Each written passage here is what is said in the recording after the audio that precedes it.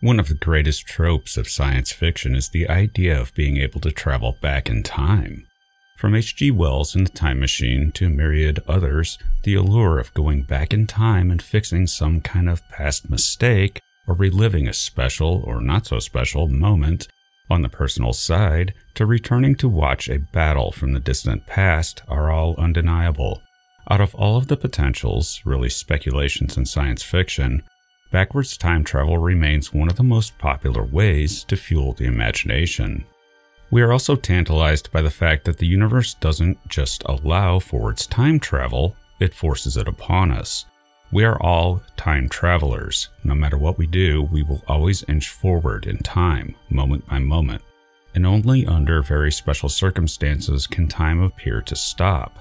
None of which can really be something normal matter, which is what we're made out of, could ever experience, if there is anything to experience at all. But what we can do is sit back and watch time pass. And Einstein's theories of relativity allow us to control the rate at which it ticks. We can and do apply that, especially in the GPS system. But the cost of doing that is that the faster you move forward in time, through gravity or relativistic speeds, the further you move away from the time you started, no matter what you do and there does not seem to be a mechanism to go backwards. You cannot ever get back to where you started from, whether you have a flux capacitor and a DeLorean or not. And this isn't just a matter of practicality, but a matter of an outright prohibition. But there is a catch, more on that in a bit. A loophole, if you will, a very obscure one. One of the major reasons that scientists are very dubious about backwards time travel is that because, unlike traveling to the future, it creates all sorts of very problematic paradoxes. Going to the future has odd paradoxes for sure, such as the twin paradox, where you set out in your spacecraft going at relativistic speeds, turn around at some point and head back, and find that you and your twin sibling are now two different ages.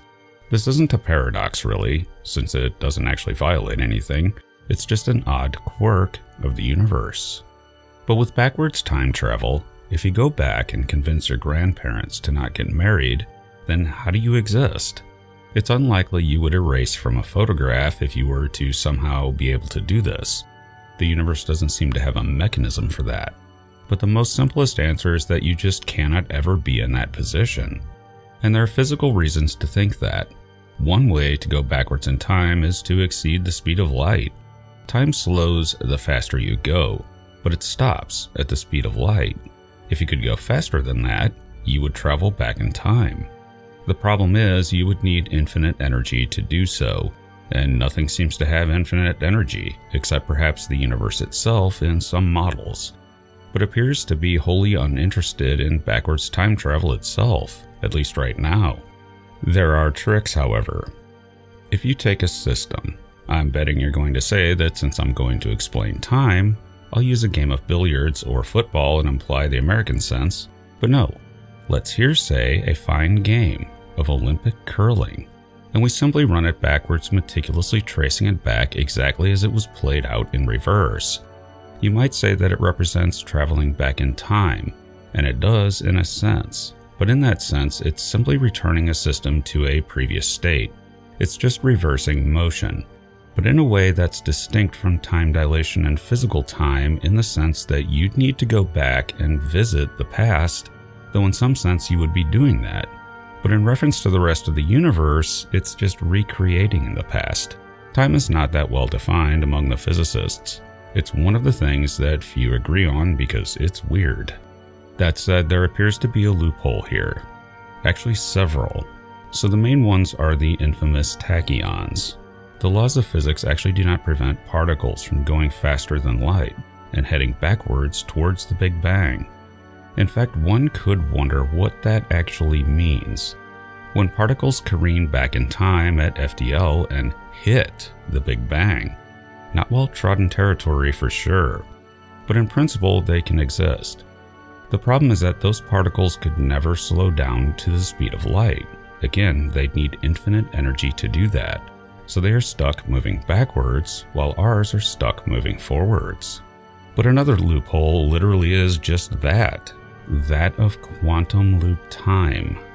Hidden within the physics of Einstein, there has always been the question of time loops that in the quantum world might allow for a particle to travel backwards to some other point in the past. These loops appear in general relativity and are known as closed time-like curves or CTCs, and no one's ever really been able to figure out what they imply. Think of it like this. So Einstein made the point that space-time can curve, which it's since been well proven that it does. When we look at all those beautiful images from Hubble and Webb and others of gravitational lensing, we are seeing the curvature of space-time due to a gravitational source. And astronomers do valuable science with those lensing effects, because they can act as hypertelescopes sometimes. But here's the weird part of general relativity in this regard. It doesn't put a prohibition on that curvature. So if you could bend space-time in on itself, a closed curve, then voila, you have a pathway to the past. The issue is that you need a titanic amount of mass rotating really rapidly to get this effect. But here's the odd thing. We know that exists in nature in the form of black holes. It's often stated that nature prohibits backwards time travel, and yeah, for all intents and purposes, it does. But it actually may not under certain conditions, and it generates a natural way to do that with a black hole. Trouble is, it's useless because the black hole itself prevents you from ever surviving it. For the quantum world, though, maybe that's possible. Ultimately, physicists have long found the idea of closed time-like curves to be one of those things that isn't strictly prohibited, but suffers from so many paradoxes and impractical problems that it doesn't seem likely that it's actually happening in the real world. Whatever the real world is, we're talking about quantum mechanics here. Here, the idea of backwards time travel from general relativity is shrunk down to the quantum level. These are termed quantum, closed, time-like curves, and work much the same in principle. Physicists generally do not like these, however. It's no secret that we flat out know that there is a massive disconnect between quantum mechanics and general relativity. The disconnect is specifically with general relativity. It breaks down and stops giving meaningful answers on quantum scales. It just doesn't hold up in quantum mechanics. And time works differently on the quantum scale, so it stands to reason that GR's closed time-like curves would not hold there. On the quantum scale, time is more or less just a ticking clock. On general relativity scale, time can bend and warp just like space can in the presence of gravity. No one is sure how those two go together. It's one of the great mysteries of physics. But recently, the idea of quantum closed time-like curves has made somewhat of a comeback because of an idea that's recently gained some traction. I've mentioned it in other videos, and it's a weighty word. Retrocausality. This gets into quantum entanglement. We know what happens, you can do it in a lab, but it remains very mysterious in that it allows two particles to interact instantly, regardless of their distance from each other. This seems to violate general relativity in the sense that whatever is being exchanged, it's happening faster than light. Einstein loathed this spooky action at a distance, and he reasoned that it must be predetermined somehow. Trouble is, this is not held up in experimentation. It does not appear to be predetermined, at least in a straightforward way. So the intuitive thing to say here is that, well, maybe our ideas about distances in space aren't entirely true, and that there is some connection possible through space, or whatever underlies it, somehow. That of course led to questions of quantum communications, if we could ever figure out a way to harness that. We'd have instant communication with any point in the universe, which quite simply demolishes the Fermi paradox, because we'd be looking for communications in all the wrong places right now, and that proof of alien life could come from the observation of a quantum particle rather than a radio telescope. Trouble is, every experiment done with quantum entanglement shows that no meaningful information can be sent. It just doesn't let you do that. Retrocausality is gaining traction because it actually addresses this and it's actually the more astonishing of the two ideas. Even more weird than that of quantum mechanical entanglement that does not care about distance. Retrocausality doesn't make the connection between particles in space, distance is preserved here. Instead, it makes the connection through time itself. What would have to happen here is that when an entangled particle changes state, it messages back in time to when it was originally entangled with the other particle. That means that the other particle knows of the state change and reflects it, yet it's still not predetermined. Instead, it's determined at one point in time, the past is told about it, so the past changes the present of the other particle in reaction. Needless to say, that's weird, because then it's all about retroactively changing the past. Again, though, this would seemingly come up against paradoxes again.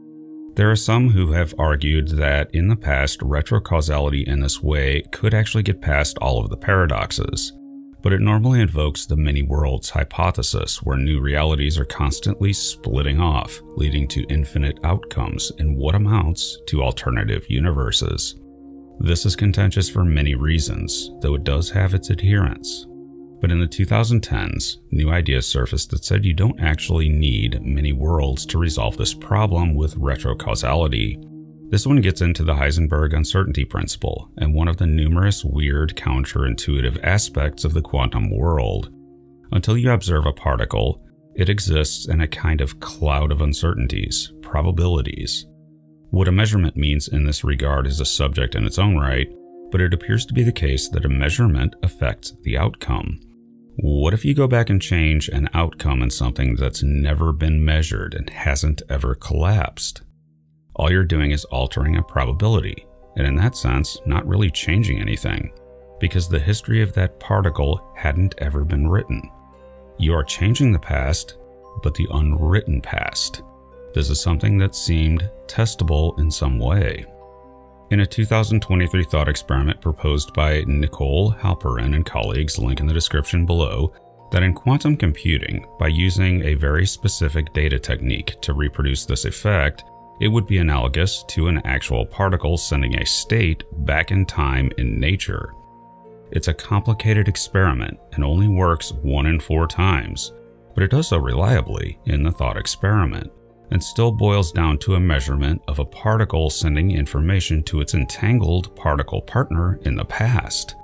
The problem is that it's really more of a mathematical simulation than an experiment, and if it were truly retrocausal, it would happen all the time. But the idea is still testable in some way, but also still remains a thought experiment. Work since, however, by one of the researchers involved, David Arvidsson Shukur, in conjunction with Aephraim Steinberg at the University of Toronto, have devised a physical experiment to look at the same concept, here sending individual photons through quantum time loops. Interestingly, as these experiments are eventually done, they actually also would reveal clues about the relationship between general relativity and quantum mechanics, and even potentially, finally, an understanding of how gravity operates on quantum scales. That has proven really elusive in physics for over a century now. Weirdly, there may be an implication here. If you can change a quantum state in the past, while you might not be able to travel to the past yourself, you might actually be able to send a quantum measurement back in time. And if a scientist in the past knew to look at that particle, Say we set up an experiment like this right now and then watched the particle until some scientist in the future, aware of the experiment, made a measurement, we could, just maybe, caveats and caveats here, immediately get a message from those same researchers or someone else located in the future. It's anyone's guess what that might mean, but if meaningful communication of a sort can be established, and a scientist right now could ask a scientist who knows about these entangled particle experiments in the future, even far future, making it a kind of time capsule. Within minutes of turning on the experiment today, we could get the answer to the questions we asked as a ground rule. Think about that. Are there aliens? Are we still there? If it turns out possible and there are no physical roadblocks that crop up, the message in return would be a communication from the future and would represent the future altering the past, meaning the answer we may get may just be don't ask. Thanks for listening. I am futurist and science fiction author John Michael Godier, currently giving a hearty guffaw to Marty and Doc Brown. They had it all wrong. If one wants a proper time traveling car, don't do it in stainless steel, and you don't need a flux capacitor to muster the forces of the universe. All you need is a LeBaron, an AI, and a quantum mechanical opossum, and I stick by it. Not that it worked, but that's only because the LeBaron is jealous. There is now another car. Not good. And be sure to check out my books at your favorite online book retailer and subscribe to my channels for regular in depth explorations into the interesting, weird, and unknown aspects of this amazing universe in which we live.